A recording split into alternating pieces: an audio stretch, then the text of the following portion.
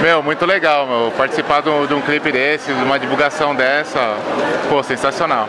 Foi muito bacana, porque é uma forma de estar divulgando, né, os o esporte paralímpico e também mostrando um pouco da nossa história no esporte.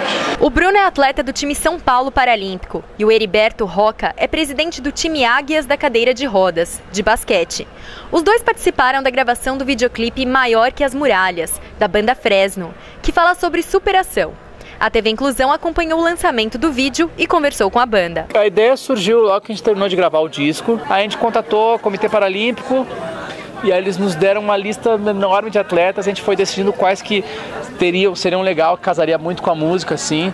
A gente pegou o Ítalo, que é do skate, também para tirar também essa coisa só olímpica, assim. A maneira com que eles enxergam a vida é muito mais simples que a nossa. A gente, às vezes, problematiza muitas coisas e faz tempestade de copo d'água pra caramba. Nos depoimentos deles, a gente só via força, a gente não via fraqueza, sabe? Eles enxergam todos os desafios, às vezes, como um incentivo para fazer coisas mai, maiores, assim. Olhar para eles como, tipo, um, uma inspiração para mim, entendeu? Tipo, se eu enxergasse a vida da maneira deles, eu seria uma pessoa muito mais capaz, muito mais tranquila e muito mais sábia.